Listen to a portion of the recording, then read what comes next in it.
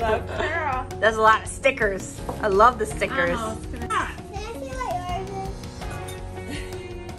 is? No. Remake you a sparkle cake. A Twilight Sparkle Love Twilight sparkle cakes? I gotta eat that. Yeah, we are gonna eat it. Wow. So Turn it around so I can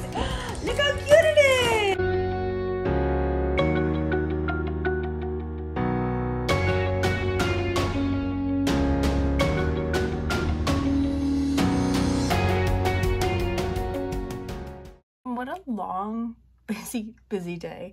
I started my day with uh, going to jenna's house because amanda was in town. She wanted to bring Addy whose birthday is tomorrow to hang out with pearl today and celebrate her birthday because um, i think amanda said that Addy calls pearl her special rainbow friend i think uh, they met a few times um, and like when we went camping for my birthday this year they re-met and they were like smitten with each other. So they got to hang out. It was really cute. Um, we sang my birthday to Addy and we had lunch and it just, it was a good time. So thanks Jenna for hosting at your house.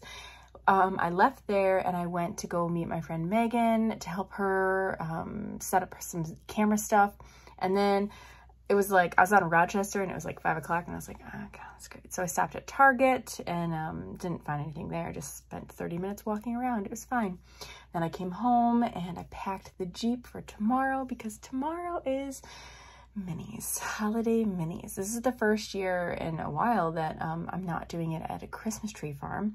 Katie Culver, one of my clients, was nice enough to let me use her land that she has, her property, and so we're gonna have the minis there. It's very exciting. I'm excited because like I don't have to worry about running into other photographers and like intruding on their space or them intruding on my space and things like that. So I'm excited to have the space all to myself. It's very nice. And Katie and Brian were like kind enough to let me use their property for this. It just, I'm very thankful, very, very thankful. Anywho, so I have that in the morning and right now I'm tired and exhausted. I had to move up a bunch of sessions because it's supposed to rain tomorrow. Mm-mm, not exciting at all. And so then I had to move things up. So I'm starting at 9.30 tomorrow morning, which means I need to get there super early. So wish me luck, guys. It's going to be great. And also, I'm going to dress really warm because it's going to be cold. I'll see you guys later.